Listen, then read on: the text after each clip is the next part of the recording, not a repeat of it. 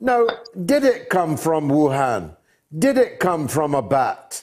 How did it make the leap into the human population? Do you know the answers to any of those things?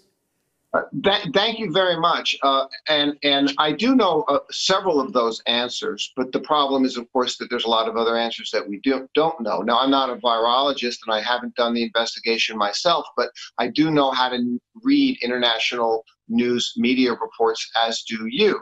We can trust and believe that the Pasteur Institute found original strains of the COVID 19 virus in France that are not in any way linked to China.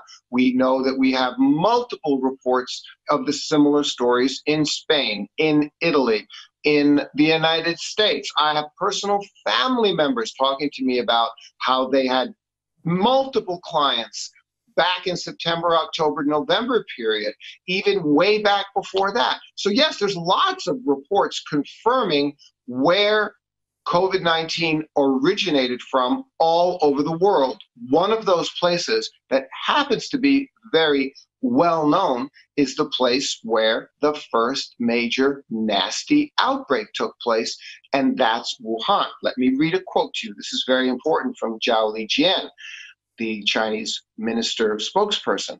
I'd like to emphasize that the WHO trip is a virus tracing exchange and cooperation between the WHO and Chinese experts. It's part of a global research effort, not an investigation.